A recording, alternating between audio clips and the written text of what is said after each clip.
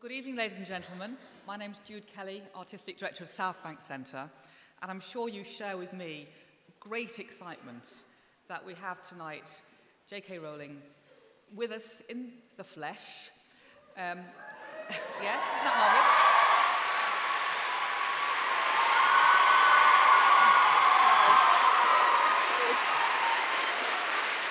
Good evening. I'll just explain how the uh, event will work. J.K. Rowling will begin with a short reading from the beginning of the casual vacancy, published this morning officially at 8 a.m.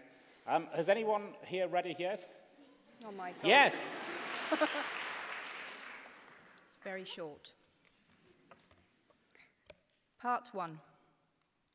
A casual vacancy is deemed to have occurred A when a local councillor fails to make his declaration of acceptance of office within the proper time, or B, when his notice of resignation is received, or C, on the day of his death.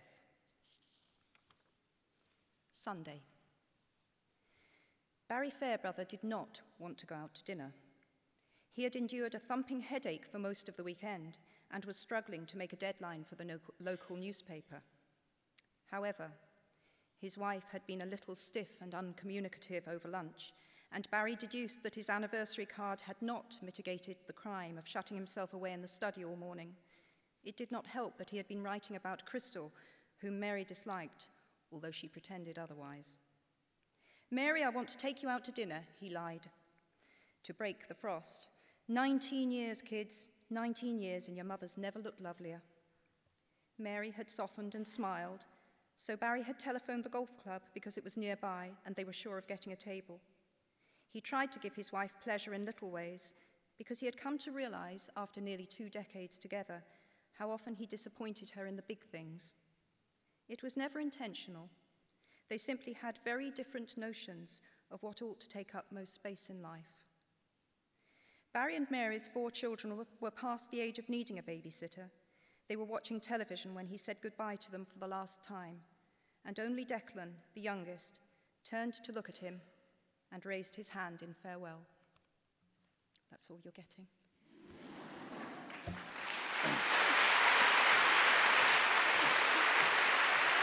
Um, now, this is quite um, an intimate gig for you because the last time you appeared in public, there were 80,000 80, people. people in the Olympic Stadium, yeah. an estimated billion people watching worldwide. We don't know how many people are watching on the live stream, but it's, pro it's probably not a billion. That actually makes me feel sick as you say that, and I've done it now.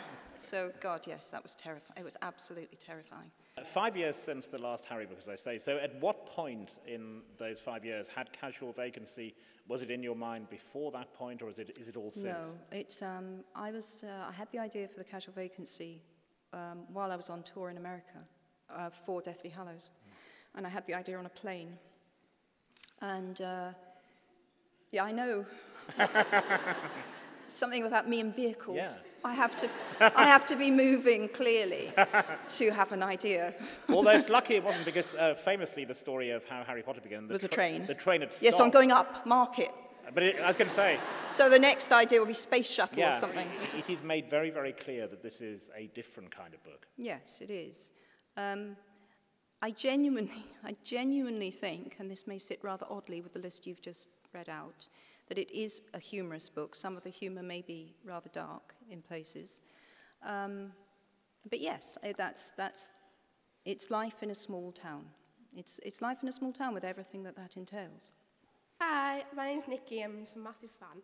Thank you. Um, I just wanted to know what, it, what it's like to kind of see what was once just an idea on a plane transform into a manuscript, which then leads to all of this, really. Uh, absolutely amazing. Amazing. People, I actually thought that, exactly that tonight. I, I walked into the little green room that I've just been like holding pen. I've been waiting in while you all came in. And there was a pile of the books there. I hadn't seen them en masse. First time I'd seen a pile. And I had exactly that feeling. I did think, God, it's here, it's done. Fantastic, it's done, it's out there. Um, I did spend the first two years on this book telling myself, you don't have to publish this. Not because it's this, just because I was reveling in the thought that I had no contract, no one knew what I was doing. It was a, just a lovely place to be in after Potter, which latterly, there was so much pressure involved, you know. People were always waiting for the next book three seconds after I published a, a Harry Potter book. And so I spent a couple of years really luxuriating in the feeling that no one knew what I was doing, but I always knew I was going to publish it. You know, I, was, I did. Uh, you, uh, setting aside Salinger, you write to be published. So tonight's lovely, it's a celebration, it feels good. What I would like to know is the writing process for you. Um, do you find it easier to write when you're inspired or sit down at nine o'clock every morning and have your time that you've allotted for writing and, and inspiration just comes to you? Um, it's really got to be the latter. And I think that inspiration, you, this may, this may be a, an unromantic thing to say, but I think you can make inspiration come. I have worked myself into a state of inspiration. Um, because if you literally sit around waiting for your muse to hand you perfectly formed stories, it's never going to happen. I think that you, inspiration is clearly necessary, but then comes the hard, hard, hard slog of writing. And um, it's a dog's life, really, when I stop and think about it. But I need to do it. If you, if you need to do it, you will do it. You know, that's, that's always been the way, I think, with writing. But uh, no, I do have a, a loose-ish routine. I definitely, I used to put in all-nighters, but I'm not as young as I was. So these days, the earlier I start work, writing, the better, and I, I, I will get more done, and I will get better work done. So early in the morning is a good time to start, and I can go for hours at a stretch that way. Um, but no, I definitely don't get up in the morning and think, am I inspired? no, I'm not. I won't work, because God, how often would I ever work, you know?